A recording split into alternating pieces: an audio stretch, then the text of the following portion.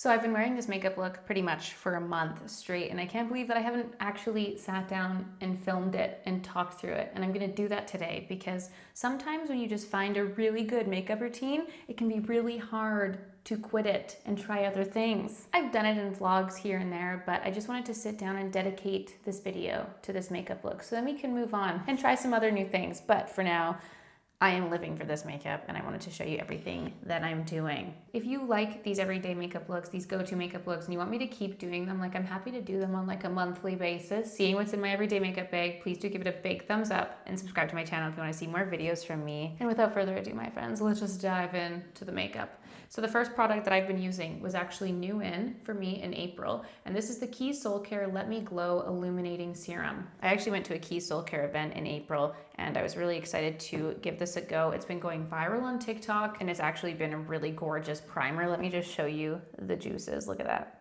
super nice. It's like really, really nice and thick and really illuminating. It gives such a nice glow. I've done all of my skincare underneath this and I'm kind of just using this as a last step. And it's really pretty. It has a slight scent, and I'm super sensitive to most fragrances, but this one isn't like too off-putting or anything. So I just smooth that all over and it feels so good and it makes the skin look so juicy and dewy. Uh.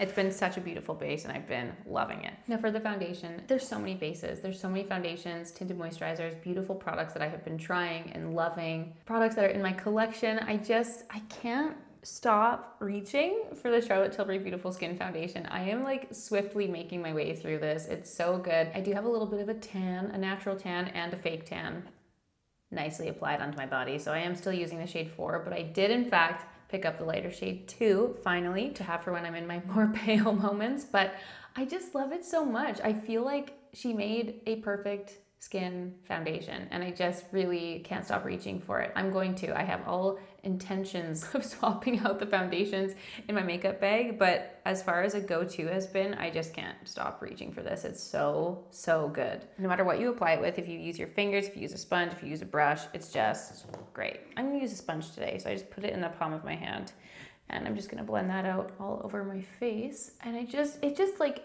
completely mimics the look of my skin and it just has that really nice like natural dewy finish and it's got great coverage that you can really really sheer out or you can build it up to like a medium-ish i just can't stop reaching for it it's honestly one to try and kind of like like the Giorgio Armani Luminous Silk Foundation, the MAC Face and Body, like those products that I just never stop reaching for. Like this foundation is going into my all-time favorites, best foundation products ever. It's one of those scenarios where if all my makeup disappeared, what would I repurchase? Like right now, this would be the first thing that I would repurchase truly. It's so good. It's just the most beautiful dewy finish and hopefully like filming in the natural light, you guys can really, really see the, the magic of it. This foundation really is that honestly. And ooh, I've also had some like very warm weather events and encounters lately, and I hadn't actually yet tested it out in hot weather, and it lasted. Oh my god, I was sitting at an event in LA, and it was I don't think it was 29 degrees. It was like 29 degrees or 32 degrees Celsius or something. We were literally sitting baking in the sun. It was so hot. We were all melting, and my skin still looked great after. So this this whole makeup look really is like contributing to that fact. But yeah, I can't I can't stop using this. Next, I'm gonna go in and do concealer and contour. And I've kind of been playing a little bit in terms of my methods of how I'm applying this. Like sometimes I will apply the contour first, sometimes I'll apply the concealer first and then I go like in between the two products. I don't really have a rhyme or reason. Today I'm gonna use the NARS Radiant Creamy Concealer. I pulled this back out of the archives just because I wanted to switch it up, but these are a forever favorite in my collection. And I also actually pulled out the Tom Ford Shade and Illuminate because there was like a dry film on top of this and I was like, no, I can't let this expire. I must use this. I need to pull it back out and use up the contour because it's so beautiful and I refuse to not get like all my money's worth out of this contour. So I pulled this back out of the archives so I can give it some love. And I think for fun today, we'll just start with the contour. But again, it kind of just depends on how I'm feeling that day, which one I go for first. So I'm taking my Smith 157 brush. This year, I feel like I've really changed up the way that I've been applying my makeup. Like before I used to just put my contour like right under that cheekbone like so many of us did and I feel like so many of us have adopted this style of applying the contour like higher up on the cheekbone and really really fusing it into the rest of the skin And I think it's made such a difference for me in my everyday makeup because it just really gives it that true, true natural glow and shape to the face. I have been loving it so much and I just continue this all the way up to my hairline. Also, I put a headband on today because I washed my hair with something that is not the K18 mask today. And my hair is just like a frizzy mess. Oh my God, I'm letting it air dry and then I'm gonna style it after, but I just had to hide it away with the headband because it's just like, damn, it's just not the same. Anyway, yeah, taking this contour and just doing it along my jawline. Then I switch and take a little brush, also dip it into the contour and I just run that along my nose and then we'll apply the concealer on top after, which kind of helps to just blend it all out. And I really like the effect that it has. And sometimes I'll also take the contour and just run it around my lips. I remember I did that in a video once and everyone was like, oh my God, your lips look so bad. What happened? And I was like, oh, I literally just put contour around it and like hadn't blended it out fully. But once you apply concealer and whatnot, I think it has a really nice effect. It's kind of like, it almost gives the illusion of like pre lip liner Anywho, I'm gonna keep that out because we might dip back and forth. I just kind of keep the brushes lingering. And once we apply the concealer, we can go in and fix anything or perfect anything if we need. So I'm taking my deeper shade of the NARS concealer. This one's the shade Custard. and I'm going in with this. And I'm starting out with this shade and like adding in any extra coverage that I want. And this is like the perfecting step. It's like an extra layer of coverage on our lovely glowing juicy base.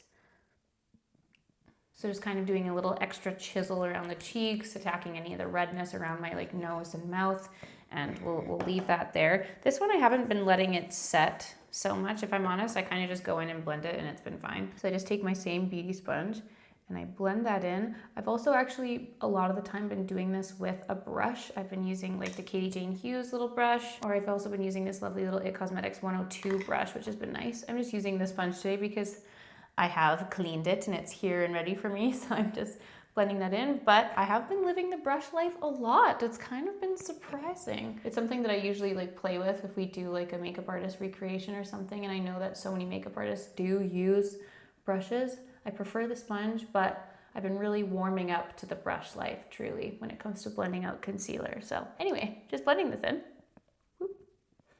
Taking a little bit of the excess and putting it onto my eyelids.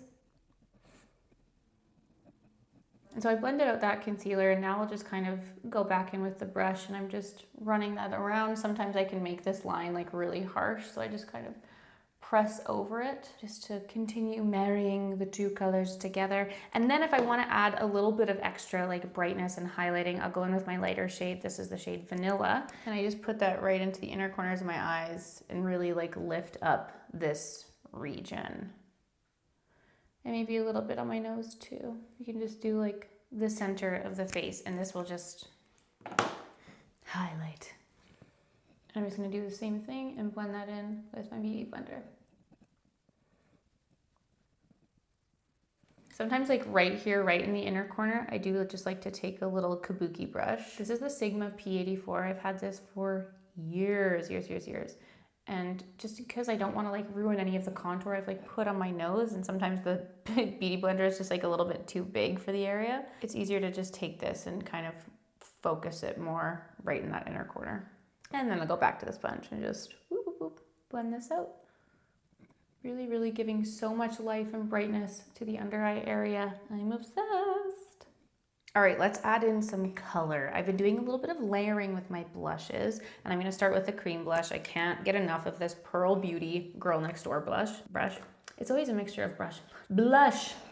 this beautiful little angel here. I love the packaging. It's so cute, and I love the color. I've been using my Rephr 04 brush, and I just go right onto the bullet. And I'm kind of applying this in the same manner like I've been doing with my contour where I'm just really like fusing it all over the cheek area. I've really been like over applying this, going really, really heavy handed with it because it's actually such a sheer formula that you really can. You can really, really build up the color and it will still be this like beautiful natural sheer look. And I've kind of like, I've almost been replacing highlight with this. I don't know. I've like not really been using highlight over the last few weeks and just kind of doing this like beautiful diffused blush look instead, which I think is really, really fun and fresh for spring and summer. I actually haven't worn this so much like with my orange blush, like Picante, but I think that would actually be so pretty too for summery vibes. But yeah, this is a really, really beautiful pink shade for every day. It's super, super soft and I just really, really lightly pat that all over. Like I kind of go onto the brow bone, bring it towards the hairline and just like drag it all along that cheek area. I'll take a little bit too and just like boop, boop, pat it on the nose. And yeah, just kind of like really, really freely and softly apply this. And I think it just gives such a natural looking flush. I love it so much. So I'm gonna leave that, that's it for that blush. And then if I wanna build up the color after, I actually go in with another blush. So let's set with powder first. I'm taking the Charlotte Tilbury Airbrush Flawless Finish Powder. And I'm taking a really nice light dusting of that just anywhere that we've applied the concealer basically. And this is a tip that I've heard from multiple people now that before you go in with like your baking powder that you put a nice light powder on top. Melissa Herkman, the fabulous makeup artist, uh, did this on me during my Nudestix shoot earlier this year and I've kind of been doing it since and I like the effect. I think it does give that very, very airbrushed, flawless finish look. So just really lightly applying that all over. And then I will take the Laura Mercier setting powder with my beauty blender. I dip it into the powder and I pat it off on the back of my hand. And I just use that to kind of go in and do a second layer. And this has been really helpful for like the events, for the event aspect and the longevity aspect. If I just am doing my like normal everyday makeup, I don't need my makeup to last. I'm just like hanging out at home. Maybe I'm filming like one video. I don't necessarily have to do this step this just kind of in my experience has really like locked in the makeup and made it last forever. So all I did, I did a dip for each under eye and then like using the excess product, I just really, really lightly pat the sponge around the rest of the face. And that kind of prevents like over applying. It prevents any like dry tightness feeling if you do have dry skin. And it just locks everything in. It's honestly magic. I will take the brush after and just kind of lightly like pat it around just in case there's any excess product. I'm not technically baking because I'm not like over applying and I'm not removing anything after. But I do think that if you have dry skin, like baking can be a little bit too much and this is a nice alternative. So now that the powder is applied, I go in and soak my face in my Benefit Porefessional Super Setter Spray and I just do so much of this all over. It feels so good. And while that setting spray is all soaking in, I will go ahead and do my brows. There's a few brow products that I am itching to try, but I'm gonna save that for a separate video and just do the go-to that I've been using. This is my Dior Brow Styler, and I also have the Got2b Brow Glue, which I just, I'm teasing you all with because I know that this is really geographically impossible to get your hands on, so I am sorry for that, but any brow gel will do, my friends. I'm gonna go ahead and fill in my brows and give them my, my usual nice fluffy look.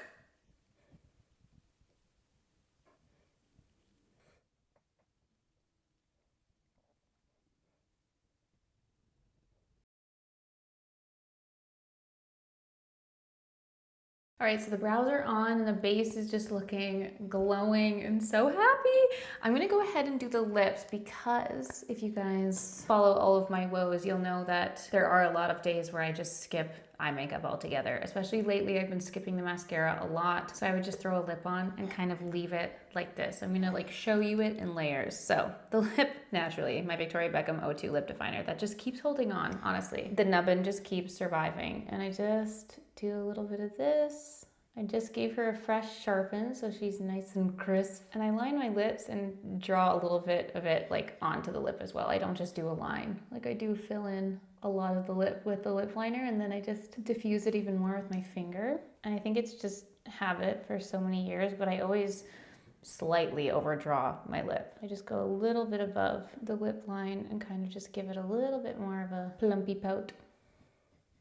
You could totally just leave it at the lip liner, but last month I had discovered this lovely little Surratt Lip Slique. This is the shade Pom Pon, and it's a beautiful, beautiful, like juicy little pink. I have a lot of products that are similar to this. I really love this packaging and I love the brightness of the pink, and I I love to pair like really bright colors, like whether it be my bright oranges or my bright pinks with my neutral lip liners. And I think it just gives it, like it diffuses it a little bit and just is the most lovely little mixture for everyday makeup. Oh, I just love it. It's so creamy. It's so nice. It's honestly a really, really great shade dupe for my RMS Sublime that was really, really sadly discontinued. I used that pink forever. It has that really similar like bright pink feeling and then super, super creamy finish. So that's the lip. I've been wearing it so much. If I don't do the lip slique, I'll just take a little bit of the Pearl Beauty blush and just slap that onto my lips. But this has pretty much been the go-to. Now, I've been playing a lot with the blush layering. I've seen a lot of like, again, like TikToks of people like going with the cream blush and then doing a powder blush after. So if I do just want an extra pop or if I'm like filming a video and I just want my blush to be much more apparent or I'm taking photos, what have you,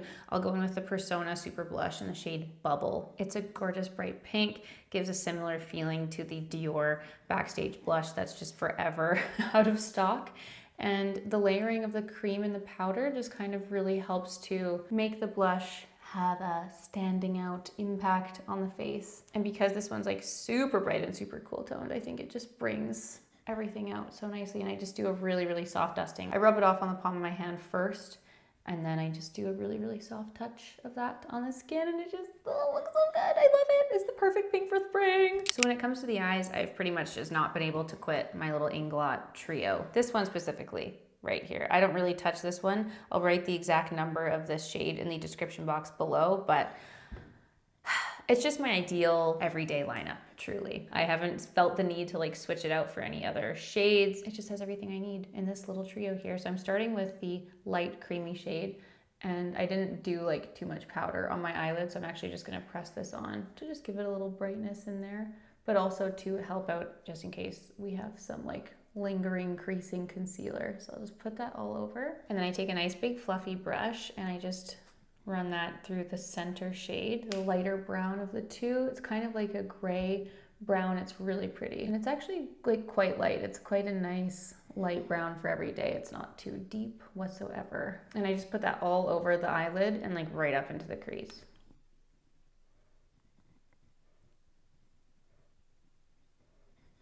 Now I'm happy to leave it like this for every day. I would either do this with the eyeshadow or do this with a bronzer. Either way, I'm happy with it. But if I want to add a little bit more depth, then I'll just take a smaller brush and dip into that deepest shade there and just literally press that along the lash line. Sometimes I can also use this shade and do a little mini flick, a little mini wing, but I just really softly press that and just let the two diffuse into the eyelid.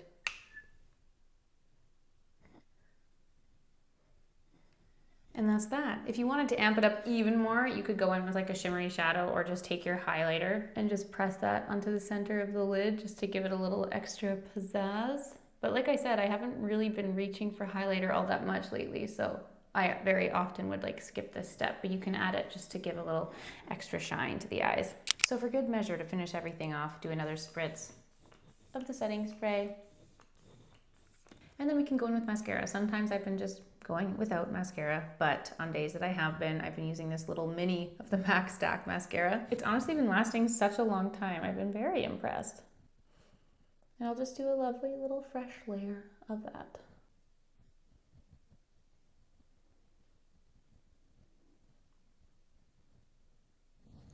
And once the mascara is applied, that is the finished look.